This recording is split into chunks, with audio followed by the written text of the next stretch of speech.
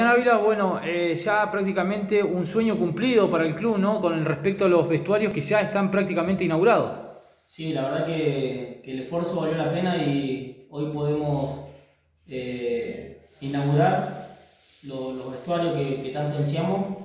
Una remodelación muy moderna, que, bueno, está a la vista, que ahora te voy a las imágenes para compartir.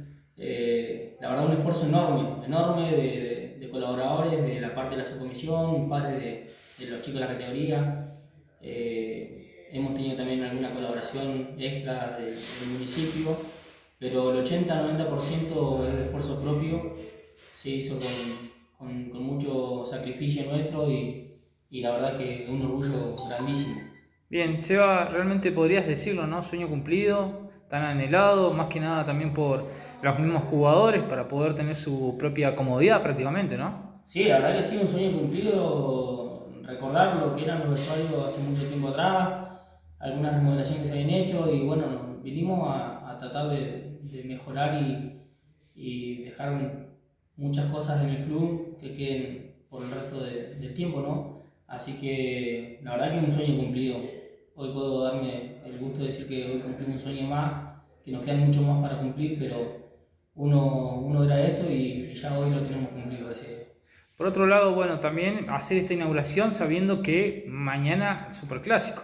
Sí, hoy, bueno, eso es el condimento especial de, todo esto, ¿no? De inaugurarlo, poderlo inaugurar justamente para mañana, que, tenemos el clásico con, nuestro clásico rival, que es Alianza de Utralco, así que qué mejor que esto para incentivar a nuestros pibes. Después, bueno, los resultados son resultados, los partidos hay que jugarlo y obviamente siempre queremos ganar, pero bueno, eh, yo creo que esto va a ser un incentivo muy grande para nuestros jugadores, desde las inferiores hasta la primera edición, y, que vean reflejado el esfuerzo que estamos haciendo, eh, no solamente yo, porque hoy me toca encabezar a mí, pero esto es un trabajo en grupo, un trabajo eh, que se hace con mucho sacrificio entre todos, ¿entendés? Gente que quiere al club, que ama al club, y, y bueno, acá están los resultados.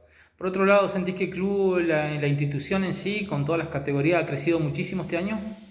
Sí, sí, la verdad, bueno, tuvimos la mala suerte por ahí de, de así como, como nos ha tocado cosas buenas, eh, también nos han tocado cosas malas de que estamos acá. Hace tres años que estamos eh, prácticamente al, frente de la subcomisión de fútbol y nos ha tocado vivir cosas eh, horribles como una pandemia por medio, como una cola de tornado que nos hizo mucho daño, eh, materiales, y acá estamos de vuelta de pie, eh, dándole pelea, eh, sacando el club adelante como, como siempre anhelamos, ¿no?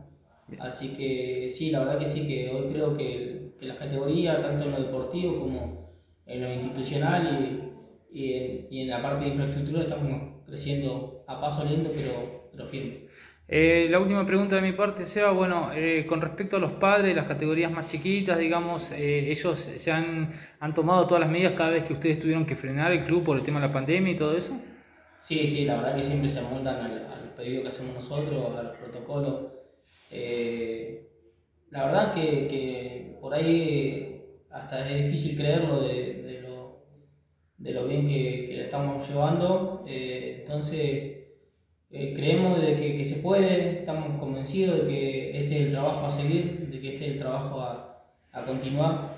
Así que la verdad que darle gracias a todos, tanto a los padres como a los, jugadores y a, los chicos, de que siempre han acompañado a esta subcomisión en las decisiones que hemos tomado. A algunos les puede gustar más, a otros menos, pero bueno, siempre han respetado la decisión que hemos tomado. ¿Conforme con tu gestión? Me hubiese gustado un poco más pero soy muy autocrítico y soy muy exigente conmigo mismo. Eh, todavía me quedan un montón de cosas para hacer. Bien. Sebastián Ávila, muchísimas gracias. ¿eh?